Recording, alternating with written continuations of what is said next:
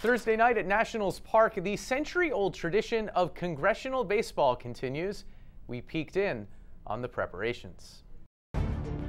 The world's most powerful baseball teams arrive for practice at sunrise. All right, let's go. The Republicans in Northern Virginia. No, you know, we're going to do this like the game. The Democrats in Northeast D.C. All right, guys, bring it in here. All spring, these leaders of men toil anonymously. Go after the ball. Go after the ball. Owning their craft, even though they'll play only one game all year. You ready? As it turns out, they can really use the practice. Let's don't start out with a meltdown inning. They got the first two guys on. Stay calm. Joe Barton, Republican of Texas, leads the GOP squad, which has lost the last four games.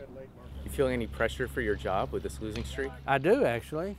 Mr. Cantor and Mr. Boehner are pretty insistent that They want to win. Republicans are not about losing and looking good. They're, we're about winning. So, so the, the heat's on. This is the lineup. Barton will be counting on players like Jeff Flake, the third baseman and Arizona senator who's kept his baseball skills quietly under wraps for years. So I haven't played since Little League, really. And you're like the best they got.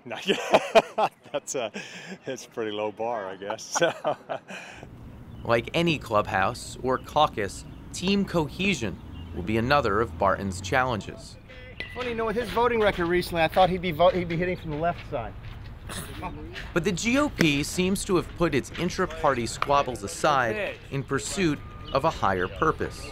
We just want to beat the damn Democrats. Uh, that's, uh, that's the main motivation. Yeah, what are your prospects of that this year? It's been a tough run for you guys. It's somewhere between zero and none, I think, of beating the. Really? They're pretty good. The Democrats are led by ace pitcher Cedric Richmond of Louisiana, who hurled a one hitter two years ago in his first outing for Congressman Mike Doyle's squad. There is nobody that I've seen in 19 years that I've been here that's as good as Cedric. The GOP has some unorthodox ideas for neutralizing the fireballer.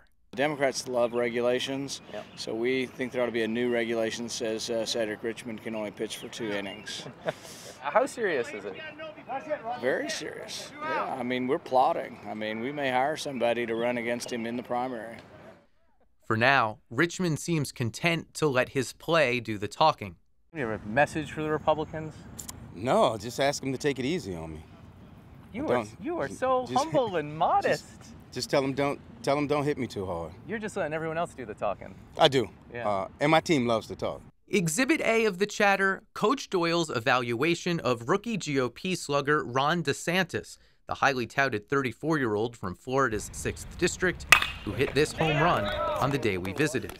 I mean, they got a new guy that they're they're touting, but you know, he's just a name right now. I'm not saying he's he's not good. I, I mean, he played college level ball, so he's got to be a, a decent player, right? He was captain of the baseball team at Yale.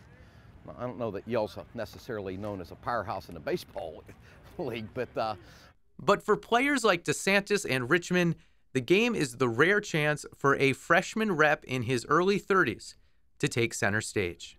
Well, there's a lot of camaraderie, obviously. It also seems a venue where a strong hitting freshman congressman can get more attention than he might normally get. well, it's true. You know, you're a heavy hitter on like a committee. That's great, but everyone's usually gone by the time I ask questions. Uh, you know, we'll do an oversight hearing tomorrow. I'm the absolute last person to ask questions because of seniority. So, yeah, it's good. This is the only place you get to hit cleanup. There you go.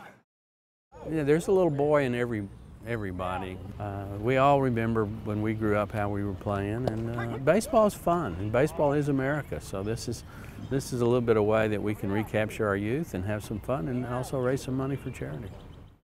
First pitch at Nationals Park is at 7 o'clock. Good tickets are still available. That's it for us. See you tomorrow.